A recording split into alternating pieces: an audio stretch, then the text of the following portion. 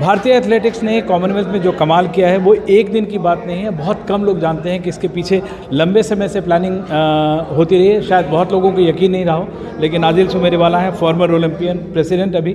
आदिल, हम लोगों से भी बात हुई एंड आई मस्ट कन्फेस दो तीन दिन पहले हमने पूछा था आपसे कि और रियलिस्टिक कितना चांस है। आप बोल रहे थे कि आप लोगों को यकीन नहीं है। लेकिन अब इन खिलाड़ियों ने पूरी दुनिया को यकीन दिला दिया है। नहीं नहीं, देखो यार, एक ये हम जो हम बोलते हैं, ऐसे ही नहीं बोलते हैं। एक स्टडी होती है रिसर्च होता है प्लानिंग होती है कि भाई इसमें ये होगा, इसमें ये होगा, इसमें ये कंपटीशन है, ये है, फलाना है ढिमका है। तो ये बात है, होती है। और जब हम बोलते हैं, जैसे कि हमारे आने से पहले हमको पूछा गया, कितने मेडल लाएँगे हमने बोला, हमारा रिकॉर्ड आज तक तीन का है। इसको हम डबल कर देंगे। किसी ने यकीन नहीं किया था। बिल्कुल, बिल्कुल। कभी ने किसी ने तभी मैंने बोला चलो यार छः नहीं सात कर लो। सात का नंबर लगा लो। इतना कॉन्फिडेंस है। आज आठ है हमारे पास। और नीरज जी नहीं है।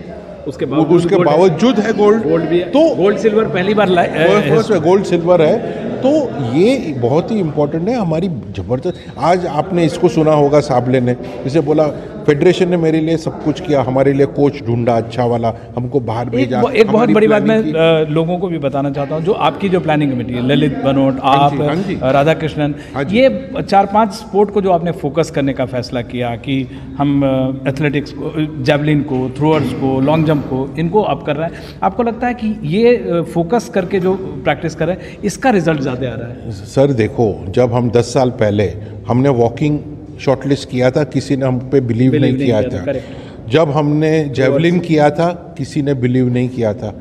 हमने 400 किया था किसी ने बिलीव नहीं किया था। पहले आपने जंप हाँ जंप जंपर्स किया दो दो फॉरेन कोच है जंपर्स के। इसके बाद जब वॉकिंग किया किसी ने हमारे पे साबले का अपने स्कॉट मॉरिसन को हाँ तो स्कॉट सिमंस को लाए तो तो हमने जो हमारा शॉर्टलिस्टिंग किया वही वो इवेंट हमने बहुत सोच के रिसर्च करके किया हुआ है। ये नहीं है कि हम ऐसे ही बोल रहे कि ये अच्छा अच्छा अच्छा ये अच्छा है।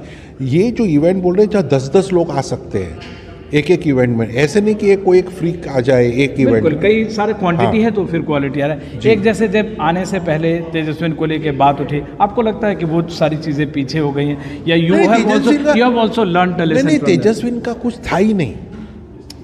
अब अभी मेरे साथ बैठा था पूरी सुबह मेरे साथ बैठा था। बहुत ही अच्छा लड़का है हमारा लड़का है।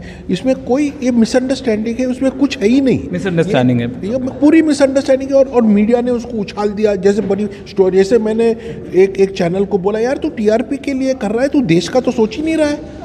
तो देश को डाउन करके खुद के टीआरपी के लिए तू चला रहा है ये सब। चलिए लेकिन मैं इतना ज़रूर कहूँगा कि आप लोगों की प्लानिंग जो जैसे एक बार सेवको से पूछा था इंग्लैंड के पत्रकारों ने कि कितना साल लगेगा तो उन्होंने 24 साल का तो लोगों को शायद पेशेंस रखने की ज़रूरत है। बहुत ही बहुत ही। और मुझे लगता है कि आप लोग अब जिस तरह के रिज़ल्ट आ रहे हैं कुछ एक दो गेम और ज़्यादा फोकस करेंगे। करेंगे सब कुछ करेंगे स्टेप बाय स्टेप सब चीज़ स्टेप बाय स्टेप होती है प्लानिंग होती है उसकी एक प्रोसेस होती है एक सिस्टम होता है और उसी से ही चलेंगे। इंडिया का जो एक मेज़रमेंट होता है वो नॉर्मली ओलंपिक्स को लेकर होता है जो कॉमन मासेस की बात कर रहे हैं। उस लिहाज हम देखें आज हम पेरिस से कितनी दूर हैं?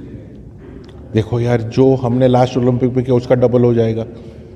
सीधी बात है। बहुत चलो wish you all the best आपके मुँह में घी शक्कर और ऐसे ही अच्छा करते रहे and do well thank you so much